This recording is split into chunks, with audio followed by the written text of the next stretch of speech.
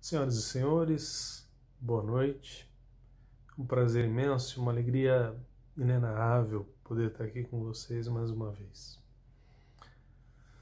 Quero essa semana propor uma reflexão com vocês sobre a última das teorias da administração. Vamos lembrar dos fundamentos da administração. A última das teorias da administração é a chamada teoria contingencial. E a teoria contingencial, ela pode ser resumida em uma única palavra. Palavra essa que atualmente tem uma importância extraordinária para empresas, organizações e para nós como profissionais. Adaptabilidade. O ponto principal da teoria contingencial diz que empresas e organizações precisam ter a capacidade de se adaptar às contingências, se adaptar às mudanças no seu ambiente, sejam tecnológicas, sejam sociais, culturais, econômicas, legais, enfim, qualquer mudança que aconteça, as empresas devem ter a capacidade de se adaptar a elas. Perceba que nas últimas semanas, empresas e organizações do mundo inteiro tiveram que se adaptar a uma nova realidade. De uma hora para outra, o seu ponto de venda sumiu. A loja física fechou. E de uma hora para outra, o único ponto de venda disponível era o virtual. O online passou a ser o único ponto de venda ao qual as empresas tinham acesso. Quero chamar a atenção de vocês que nós não estamos falando aqui de nenhuma novidade. O e-commerce começa com a ideia do Jeff Bezos quando ele fundou a Amazon em 1994. Muitos de vocês não tinham sequer nascido. E quando a Amazon inaugura o comércio eletrônico, Obviamente, muitas empresas foram, seguiram nessa trilha, seguiram nessa onda, muita gente ganhou dinheiro com a internet e ainda ganha. E com a pandemia do Covid-19, empresas que nunca imaginaram trabalhar de maneira virtual, trabalhar no comércio eletrônico, tiveram que se adaptar a uma nova realidade.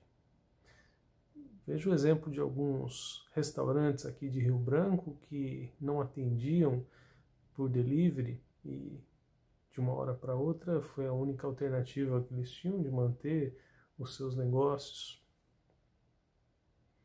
E isso vale para nós, profissionais. O home office, eu já falei disso em um vídeo anteriormente, pelo jeito chegou para ficar. E o home office Perceba que muitas empresas sequer imaginaram ou cogitaram fazer o home office, trabalhar com o home office. Talvez porque muitos empresários ainda estavam presos aos conceitos, às ideias de Frederick Taylor na sua teoria da administração científica, que pregava o comando e controle. Os empresários queriam estar de olho nos seus funcionários para ver o que eles estavam fazendo. De uma hora para outra, todas as empresas tiveram que trabalhar em home office. E eu tenho a impressão que o home office, em muitas situações, chegou para ficar. Por quê? Porque é muito interessante para a empresa, no sentido dos ganhos que ela traz em termos de redução de custos. Você não precisa ter o aluguel, você não precisa ter gasto com energia elétrica, você não precisa ter gasto com cafezinho. Além do mais, é, vale pena também para o funcionário, porque para o funcionário, o funcionário vai estar em casa, vai evitar o trânsito para ir para o trabalho, dor de cabeça, encheção de saco, de é, tá num trânsito, às vezes muitas pessoas em grandes cidades levam duas horas para chegar no trabalho, duas horas para ir, duas horas para voltar, e ele vai poder trabalhar em casa sem ter essa, essa, essa locomoção, podendo produzir em casa e mandando o seu trabalho para o chefe, para o patrão, sendo muitas vezes até mais produtivo do que seria no, né, dentro da empresa, dentro da organização.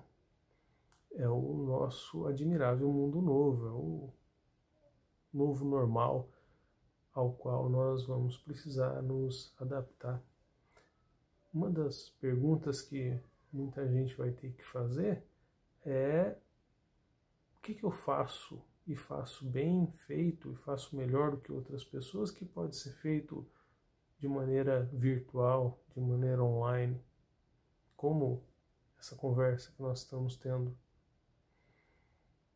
É o, uma pergunta que talvez seja o, a diferença, o diferencial entre sucesso e fracasso nesse novo pós-normal que nós vamos viver daqui para frente.